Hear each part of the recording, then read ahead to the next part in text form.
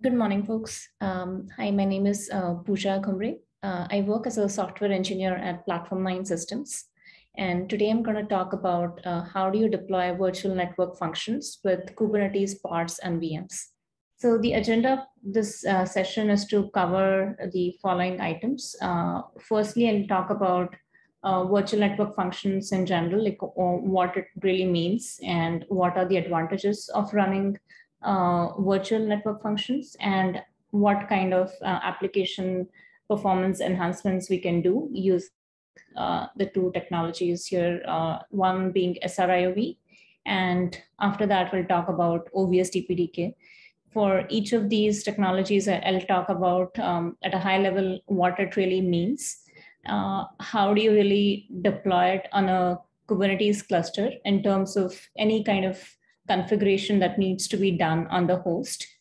And once that is done, uh, how do you actually deploy a VNF application using the KubeVirt virtual machine platform here? And I'll do a quick demo after that, demonstrating uh, VNF applications or other VMs uh, and uh, pods that can be created using SRIOV and DPDK networks. So let's get right into it.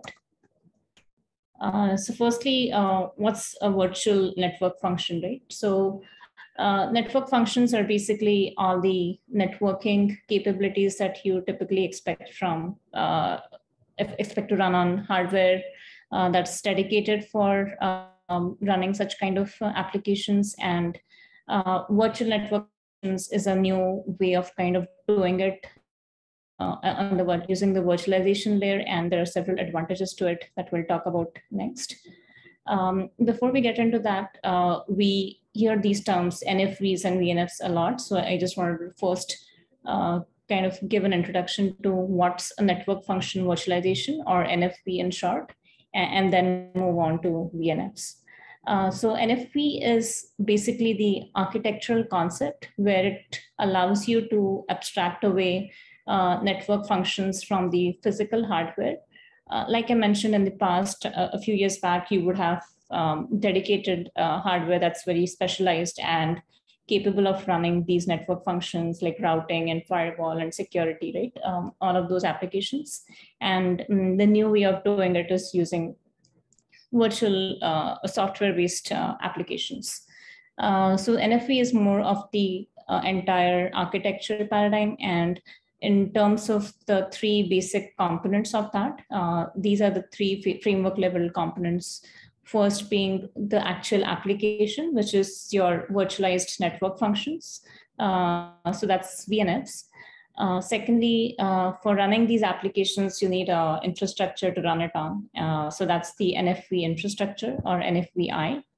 And lastly, the management, automation, and network orchestration layer, which is basically um, abbreviated as Mano here. And uh, I'll, talk briefly about all of them, right? So uh, with the telco cloud, uh, the, this is like the new uh, way of doing it without having uh, dedicated hardware for each network function. And uh, the primary goal is to improve agility and scalability for, for different telco service providers, right? For being able to add new applications on demand, and that shouldn't require uh, additional hardware resources. Uh, so if we talk about VNFs, uh, these are the software applications that would deliver functions such as um, file sharing, directory services, routing, uh, uh, firewall um, mechanisms, and all of that, right? So there could be different applications that you can run as VNFs. And this could run either in a virtual machine or a Kubernetes pod.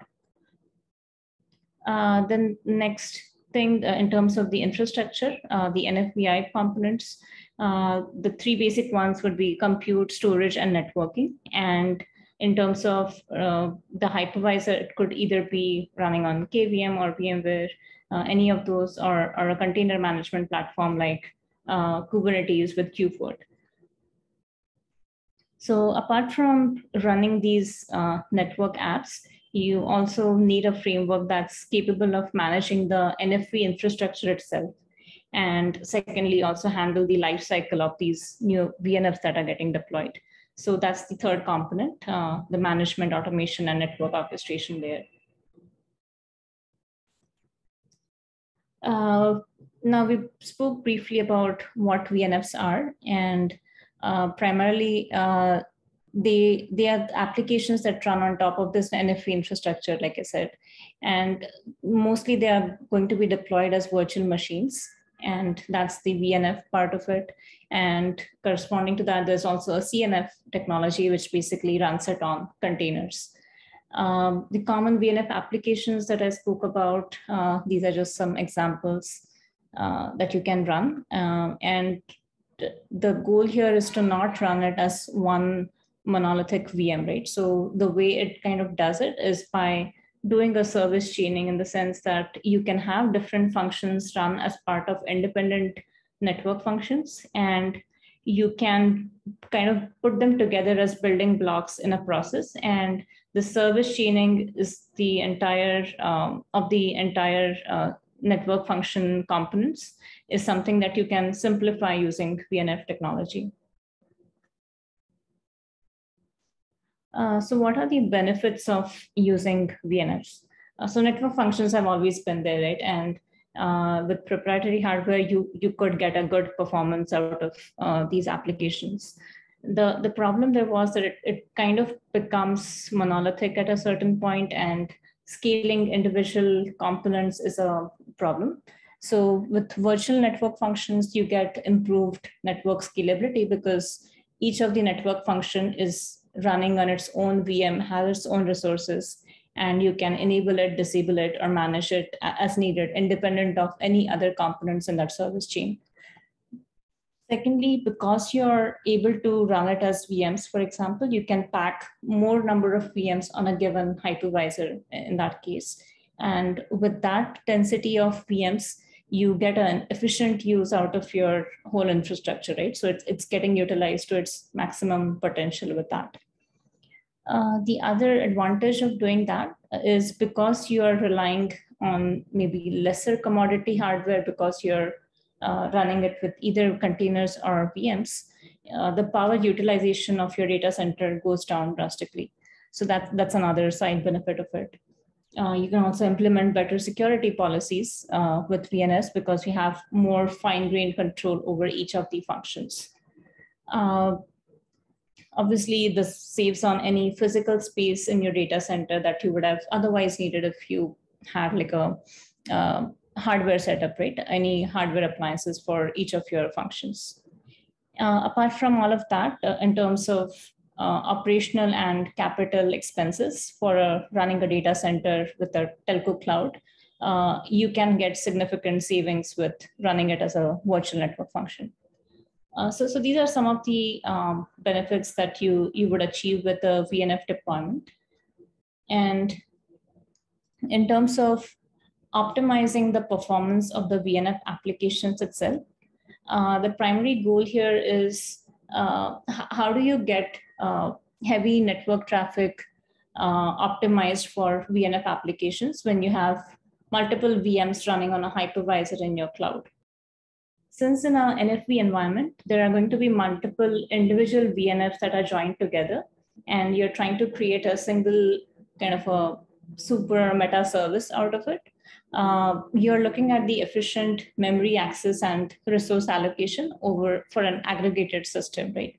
And uh, when you're dealing with a high amount of uh, network traffic, uh, what you would, the performance that you would achieve with a native Linux kernel stack, that's, that's not going to suffice in this case because uh, the number, more the number of VNFs that you pack on a single host, it's going to drive up the aggregate usage to a very high level that cannot be uh, met by standard Linux stack. So the uh, SRIOV and DPDK are two kind of solutions uh, that can be used either independently of each other or in a combination. And uh, that helps you achieve like faster packet processing that's needed by these VNF applications. So first, let's talk about uh, SRIOV. So uh, that stands for single root IO virtualization. And with SRIOV, the benefit that you get is you can have dedicated PCI devices for each of your virtual machines.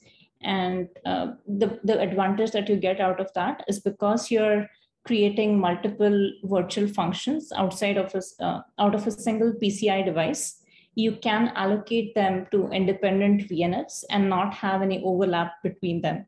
So this kind of gives you a good isolation of the resources and, and it's better for performance as well as security reasons. And it's also easier to manage because you can um, basically deploy one VNF independent of the other and add or remove SRIOV networks to it as required. The performance benefit that SRIOV gains, it, it comes from the basic fact that in this case, it's by the network traffic is bypassing your hypervisor and without getting any kernel interrupts uh, for any data, data that comes in or out of the VM, you are able to access the NIC directly. And that, that's primarily how it, it's able to give you faster packet switching. To actually run SRIOV on a host, you need support in the BIOS level as well as at the operating system level. So, so those are kind of the two, two requirements for running it. And uh, in terms of uh, how it's presented to a VM, uh, it doesn't really make a difference to the VM because it's it's on the host level that you are kind of slicing a PCI device into multiple virtual functions. But from the guest point of view, it's only going to see it as a NIC card. So the application running inside it does not really change change a whole lot. Uh, in terms of uh, the terminology used here, um, the physical functions are basically your full featured PCI functions. And when I say full featured, it basically means it, it comes with its own set of uh, configurations, right? You can configure the PCI device and each individual PF. Um, when you slice it into multiple virtual functions, these are lightweight PCI functions in the sense that you don't have uh, the same configuration capabilities that you would get with the PFs. So they're kind of uniform in terms of the device type that, that would match the physical function that you have. So this is just a pictorial view to kind of uh, explain how SRIOV really helps you bypass the hypervisor. Uh, in this case, uh, for instance, if you had uh, a VM utilizing the OVS bridge, uh, that's the Open vSwitch bridge uh, on the hypervisor, um, without SRIOV, any data packets that come in or out of the VM, uh, that would create a kernel interrupt. And when it processes that, there's obviously a switching overhead that happens and uh, that slows down the network performance, uh, network throughput, right?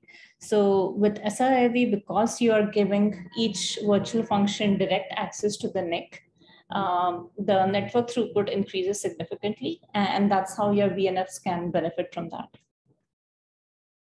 Uh, now, uh, when we talk about uh, deploying VNF apps on the um, virtualization platform, uh, the solution that we're looking at here is KubeVirt, which is a virtual machine framework uh, that runs on top of Kubernetes. Uh, with KubeVirt, there is inbuilt support for SRIOV. Uh, you just need to enable a feature flag for uh, enabling that. And once that is done in terms of actually being able to use SRIOV, there are certain plugins that you also need on your uh, Kubernetes cluster. Uh, the first one of them is the SRIOV device plugin. Uh, device plugin is the one that's responsible for uh, kind of detecting and uh, discovering the any SRIOV resources that are available on a host. Uh, once it detects that, it also advertises them to Kubernetes, and the resource Kubernetes resource manager will then allocate them as it's requested by any pods and VMs. Uh, so this is a, a read-only kind of service in the sense that uh, it won't modify anything on the host in actual actuality and the only thing that it does is basically um, advertises these resources and updates the uh, capacity section of each cluster node so that that can be used by the Kubernetes scheduler when uh, allocating resources to VMs.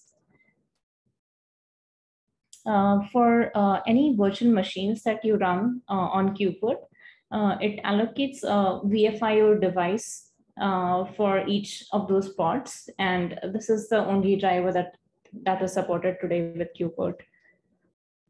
Uh, secondly, there's the SRIOV CNI plugin.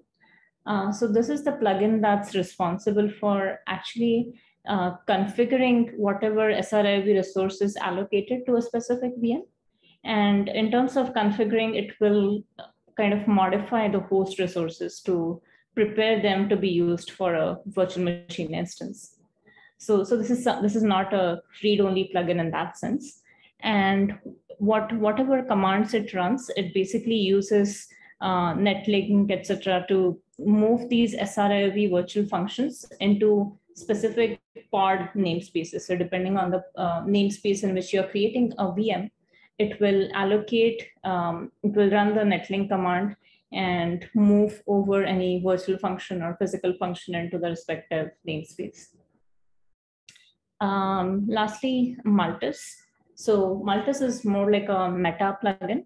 Uh, so when you create a network attachment definition in KubeVirt, or in Kubernetes, you can basically use Multus with the SRIOV CNI plugin whenever you attach a VMI to a SRIOV interface. So this is something that's part of the network attachment definition CRD object that, that I'll show shortly. And what it basically helps with is um, it identifies the object annotations and based on the resource name that you configure when you uh, set up the device plugin, and whatever reference you put in there, KubeVirt is automatically able to fill that in in the uh, Virt launcher pod that is running a specific VM. And it would go ahead and update the requests and limit section for those pods there.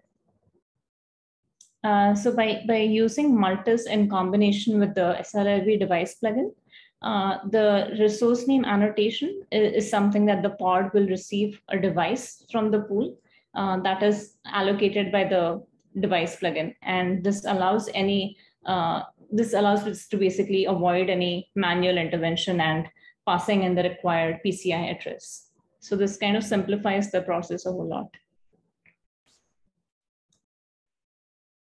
Uh, in terms of any configuration on the SRIOV host, right, uh, the cluster host that, host that you want to use for uh, SRIOV VNFs, um, you basically need a NIC card that is SRIOV capable. So not all hardware is capable of supporting SRIOV by default. Uh, once you have that, uh, there are also certain BIOS settings that you need to enable to uh, actually utilize that NIC function. And uh, on some of the physical servers, you would see a setting in BIOS that's there's a global enable flag for SRIOV that needs to be enabled. And there's also a per NIC setting that you can toggle and enable it for specific NICs. Uh, once it's enabled in the BIOS, uh, you also need to enable IOMMU support in the kernel level. Uh, so in the kernel command line, you can pass in the below flags. Uh, so if it's Intel processor, then you would pass Intel IOMMU equal to on. If it's uh, AMD, you would do AMD underscore IOMMU. And uh, similarly, you would also add these PCI equal to reallocate and PCI equal to assign buses command line parameters to the kernel config. Uh, if you do make that change in the GRUB command line, uh, then you need to kind of save that and rebuild the RAM disk and reboot your host in that case. If this is the first time that you're setting up the host for uh, SRIOV cluster. Uh, like I mentioned before, for KubeVirt, it only supports the VFIO user space driver to pass through these PCI devices into QEMU for running your VMs.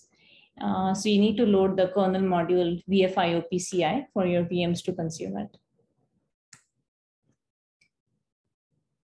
Uh, in terms of how do you actually create a VMI in KubeVirt using SRIOV, uh, this is how the spec would kind of look like.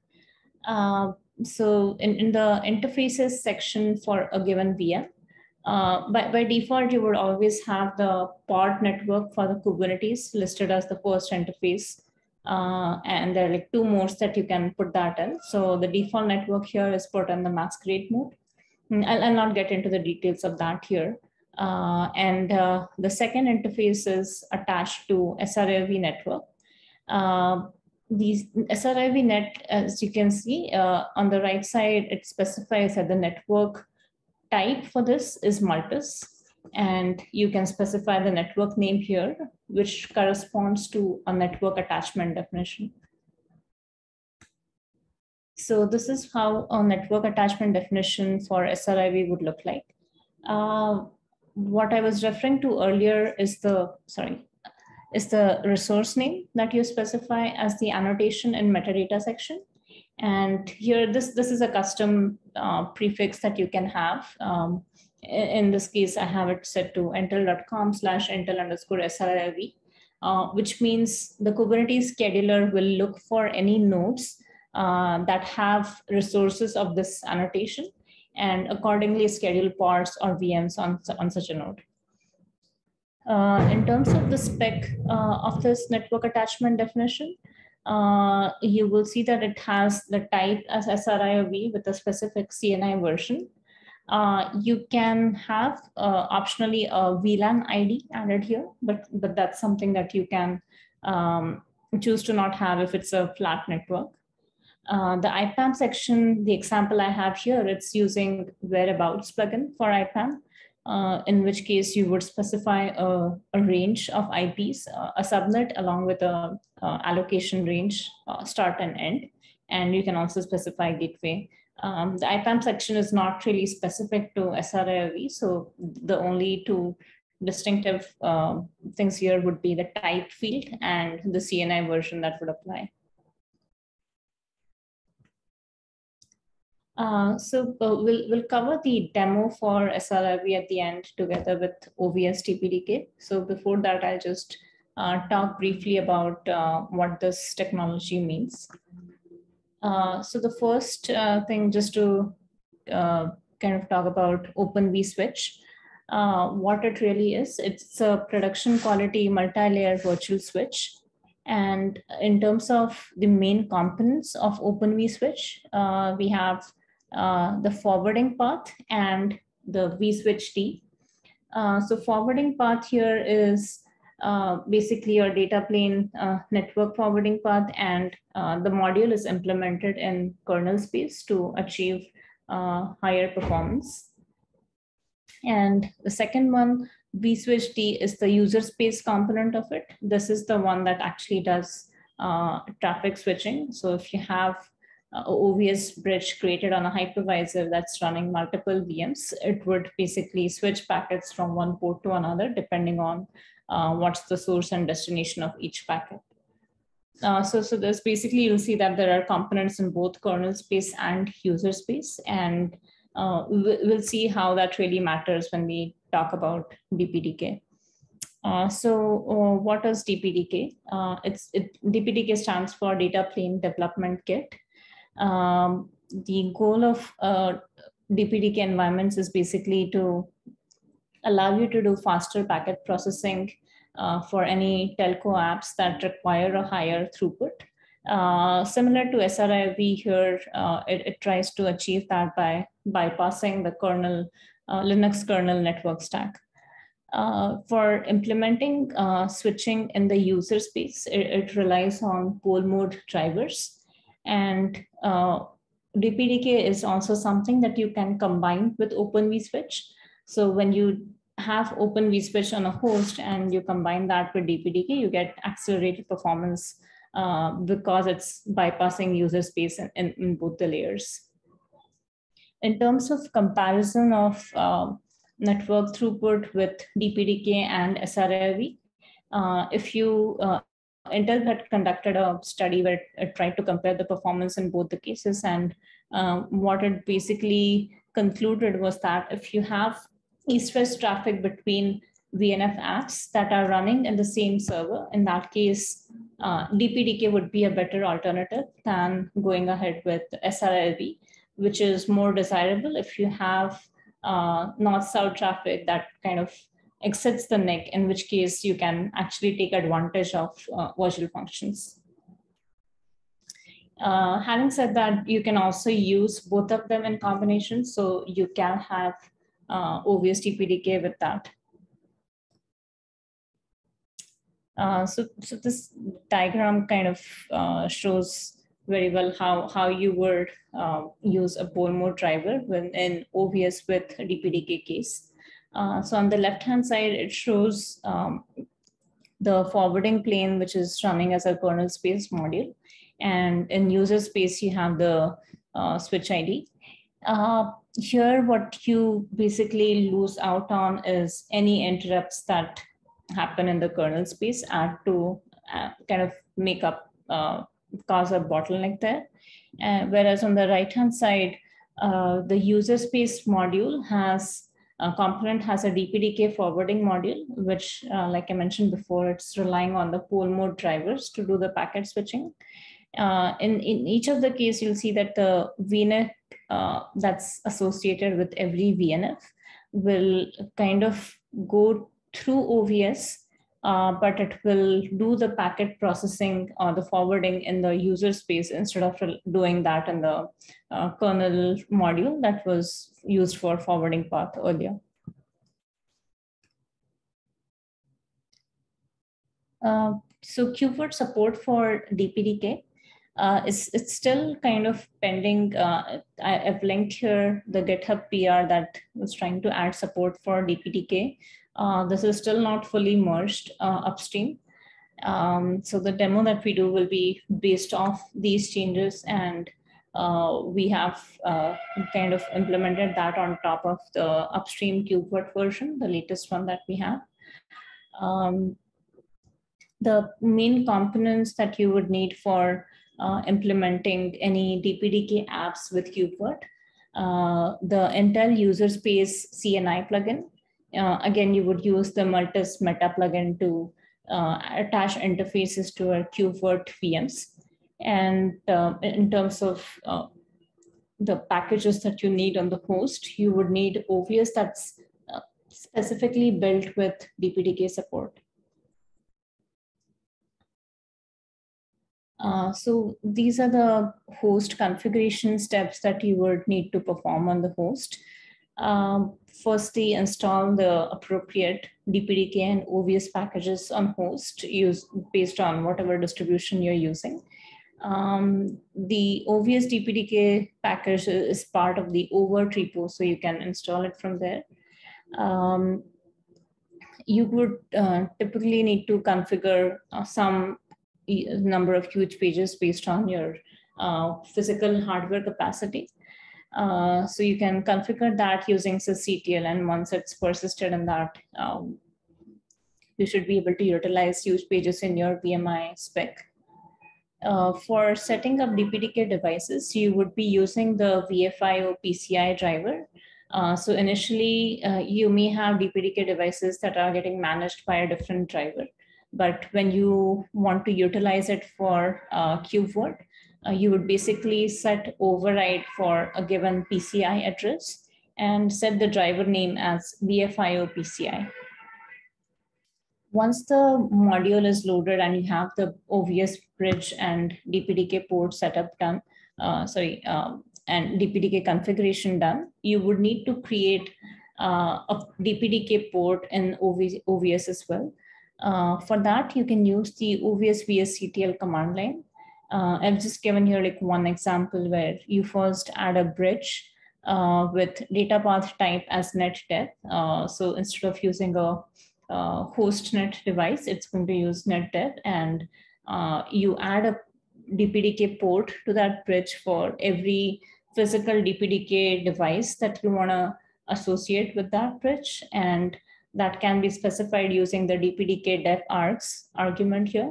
And you would specify the PCI address uh, that would match whatever was the ID that you passed in uh, the command above with driver CTL set override, where you attach it to VFIO PCI driver.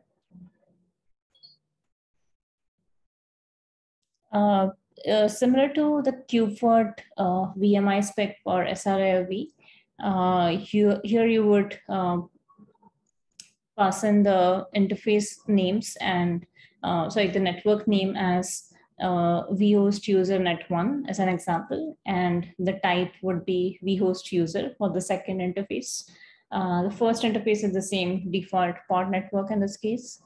Um, the network name that you specify under Multus section on the right is net1 here. And net1 is what would be uh, matched with your network attachment definition name. So here is a sample of the network attachment definition for DPDK. Uh, in this case, uh, contrast in contrast to the earlier YAML file that we looked at, uh, the type here would be user space. Uh, again, you specify a CNI version, and then there's this host and container section that you need to specify. Under the host um, dictionary, you have the engine type as OVS DPDK. the interface type here is vhost user. Uh, so typically with OVS DPDK, you can either have the interface type as vhost user or vhost user client. And uh, that's the one that we have specified here. Uh, so vhost mode is client in this case. And what the bridge name that we added with OVS VSCTL add bridge, that's the one that you would specify under the bridge name section. Uh, again, under the on the container side, you would specify uh, interface type as vhost user, and this is the server side of it. Um, so what, what it really means is um, you create a DPDK port on the host, which will be a client, and inside the container where you're running a VM and uh, using QEMU and attaching the port as an interface to that VM, uh, that is going to act as a server. So those are the two different modes where uh, either host is acting as a client, uh, in which case it's vhost user and the other one is where container can act as a client uh, or other QEMU can act as a client. Uh, and all it really uh, means is that you are, one of them is responsible for creating the socket and the other one is going to try and establish a connection to that socket. Uh, so after this, we'll cover the demo side of uh, KubeVirt and uh, see how we can deploy VNF apps using SRIOV and DPDK both. Uh, so let's get into the demo uh, uh, for running VNF applications using KubeVirt VMs. Uh, I'll first cover uh, SRIOV interfaces attached to VMs and show how you can create a VM um, using KubeVirt, and, and, then move on to um, creating a VNF using a VM, a VM that has DPDK interfaces. Uh, so for SRIOV, I already have a cluster created here. Uh, it's a single node cluster. Uh, so the master node is also running workloads. Uh, I'll show the pods that run as part of KubeVirt since I have that installed here already. Uh, so for the cluster, you'll see the virt API, virt controller, and virt operator pods running. And for every host, there is a virt handler pod that runs. Since I just have one node in the cluster, there's a single virt handler pod that's running here. And it's uh, responsible for launching any VMs that get scheduled on that specific cluster node. Uh, I also have CDI, uh, which is uh, for uh, basically creating data volumes and associating those with those as um, disks for your VMs. Uh, since that is already running, uh, you would see CDI pods um, for API server, deployment, operator, and upload proxy running here. Um, in terms of uh, the other component that we have here, uh, I have uh, Luigi, which is the open source plugin for configuring SRIOV. Uh, so in that Luigi namespace, you'll see a controller manager pod running here. So this pod is something that will monitor any network plugins that you create. And if you create a network template with SRIOV, it will help you create virtual functions in an automated way without really having to do any manual intervention there. So on this host, I have uh, created um, virtual functions before. So if you look at an interface and under the sys class net uh, interface name device, there is a file called sriov num vfs, which will show you how many VFs have been created on this uh, interface.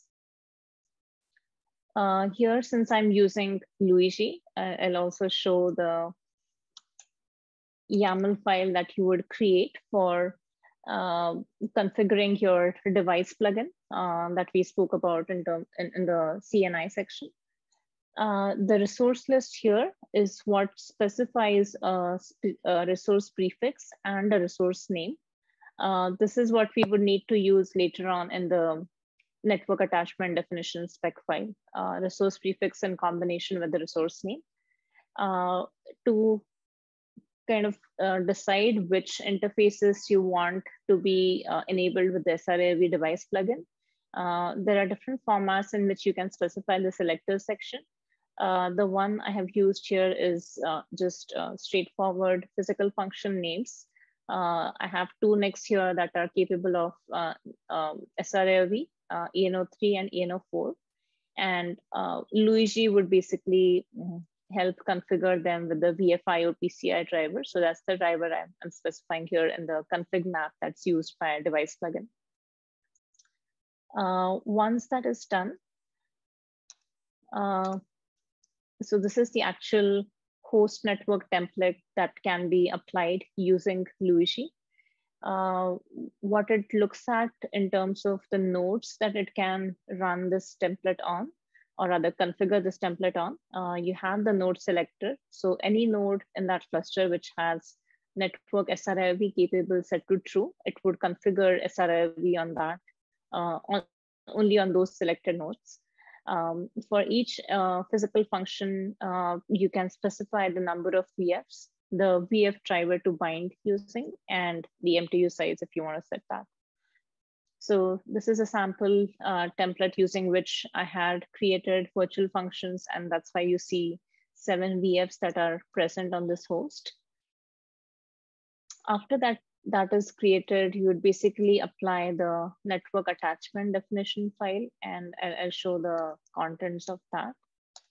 Uh, so the network attachment uh, network attachment name here is SRIOV network ENO which would be part of your VMI spec file. Uh, the thing to note here is basically the type SRIOV line. And optionally, you can set a VLAN ID. And uh, for IPAM, you could use whereabouts or any other plugin as, as desired. So I'm gonna create a VM here. This is the VMI spec file.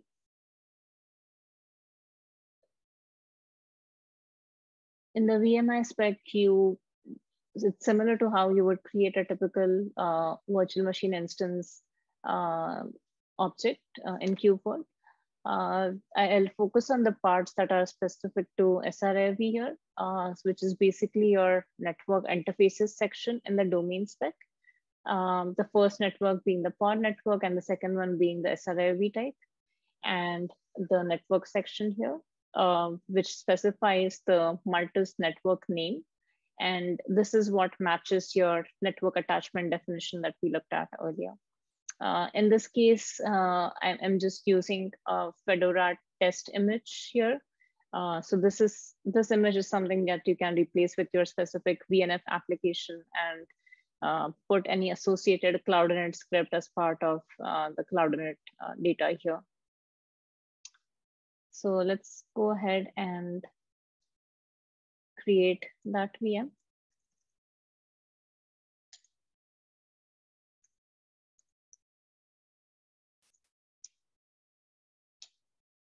So VMI SRIOV2 was already running uh, on this uh, cluster and VMI SRIOV1 is the new VM that I just created. So let's give it a minute to startup and, and we can go ahead and connect to this IP address and see that we are able to reach the other, other VM there.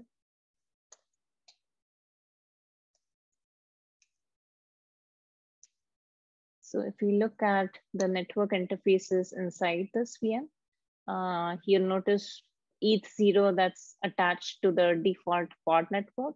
And then there is ETH1, uh, which is your SRIOV interface in this case. And uh, here, this is again the IP of the VM that was already running, but this is on the default pod network. Um, with SRIOV, it doesn't really get an IP assigned to inside the VM. So you would need to configure that via a CloudInit script. Uh, the IP that was associated using whereabouts will just get assigned to the pod itself, but not to the actual VM that's running. Uh, so that's something that needs to be done either using an external DHCP server or using the CloudInit script here.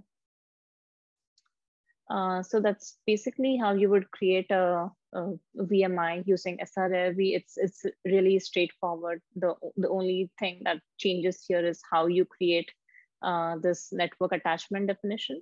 And once you have that, uh, you basically just need to use the utilize the network name in your VMI spec. That's the only difference. Um, moving on to DPDK. So again, I have a pre-created cluster here. Let me just export the kube config and you'll see again that there's a single master node uh, that's available here. Uh, it, it, again has the exact same uh, deployments here. Uh, there's KubeVirt installed and CDI installed. Uh, this also has, um, so, so since Luigi doesn't support DPDK today, that's still a, a some work in progress item for adding to Luigi. Uh, I'll just showcase the OVS level info in this case. Uh, so if you look at the OVS VSCTL show output, you'll see that there is a OVS bridge that's created. Uh, the OVS bridge created here has two interfaces, uh, two ports, basically ENO2 and ENO4. Again, these are two NIC cards that are being utilized for DPDK traffic in terms of configuring or adding the port, uh, the option that's utilized is dpdk dev args to which you assign the PCI address. So since I'm utilizing the entire um, ENO2 and ENO4 interfaces here as DPDK ports, I'm specifying their respective PCI addresses as part of the port config. So these are the two ports and you can also use uh, OVS in a bonded mode if, if that's what you desire uh, or you can add the ports directly here. So after the OVS bridge and port configuration is done, uh, I'll, I'll, show the network attachment definition and how it differs from SRIOV. Uh, so we spoke about this earlier. Uh, the host and container sections are the main ones that differ for the user space uh, type network attachment definition. Uh, the bridge name here again needs to match what you created in OVS. And uh, this host side should be in a client mode and container side would be in a server mode here. Uh, same thing, the IPAM section could be anything, uh, whereabouts is just an example here. Uh, the network name net1 is what would be part of the VMI spec. So you'll notice here, this is a virtual machine uh, named test DPDK. Uh, it has two interfaces, first one being the Kubernetes default pod network, and second one is an interface of type vhost new user. Uh, for this uh, DPDK network, you specify it using the Multus network name config and um, put it as net1 here. Uh, again, I'm using a Fedora image, but this could be replaced with your VNF applications image and the corresponding CloudInit script here. So we'll just go ahead and create a VM using this. Uh, so for the SRIOV one, we are utilizing a VMI, uh, a virtual machine instance type.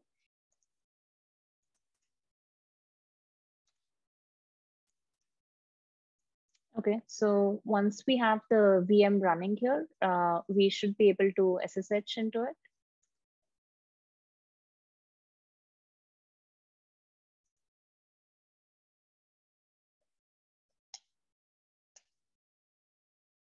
Uh, inside the VM, I'm just running IPA command. And here again, you'll see uh, two interfaces. Uh, ETH0 is a default pod network and uh, since it was using masquerade mode, uh, this will show you the internal IP address uh, that's NATed. And on the pod level, you would see the IP address that's shown up here.